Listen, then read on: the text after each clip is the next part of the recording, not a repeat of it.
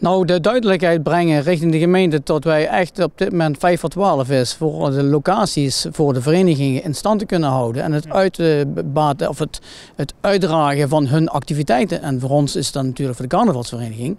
En we hebben natuurlijk meerdere verenigingen hier in Bunden die zeer dringend op zoek zijn naar een ruimte waar ze kunnen oefenen en waar ze hun voorstelling kunnen organiseren. In de brandbrief, die onder meer ondertekend is door de theatervereniging, het Sunneke, het buurtnetwerk en de seniorenvereniging, staat dat Bunden na het verliezen van de oude kerk nu geen gemeenschapshuis meer heeft.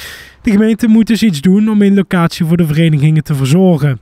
Toch is dat geen gemakkelijke opgave. In Bunten zijn geen openbare ruimtes op dit moment aanwezig waar je dus uh, zoveel mensen tegelijkertijd zou kunnen plaatsen. Dat zal er misschien wel zijn bij diverse uh, ondernemers die een bepaalde loods hebben of dergelijke. Maar echt openbare ruimte, zoals een café met een zaal, dat is op dit moment niet meer voorhanden. Ja, je zou kunnen denken dat er een bepaalde periode een paviljoen wordt geplaatst, maar dat gaat heel veel geld kosten. Dus vandaar ook dat wij een aantal vragen hebben voorgelegd aan de wethouder om erop te reageren. En dan vandaar daaruit zullen wij kijken wat we daar verder mee gaan doen. Ja, de verenigingen in Bunden sturen dus nu die brandbrief naar de gemeente in de hoop dat zij met een nieuwe locatie kunnen komen.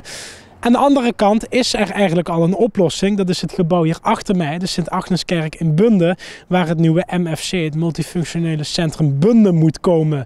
Alleen daar moeten we ook nog altijd op wachten, want daar zijn de financiën nog niet rond. Want de gemeente wil voordat ze het geld geven eerst zekerheid hebben van de provincie dat ze ook gaan meebetalen. Alleen de aanvraag bij de provincie laat op zich wachten. Wat we begrepen hebben is dat de aanvraag bijna zover is dat ze behandeld kan gaan worden. Maar eh, ja, zekerheden durf ik eh, niet meer te geven. Dus wat ons betreft is dat nu even een groot grijs gebied waar we wachten op enige beweging. Eh, we weten wel dat eh, de wethouder, eh, de heer Bongaerts, dat hij er aan alles aan, aan doet. En ook de contacten onderhoudt met de provincie.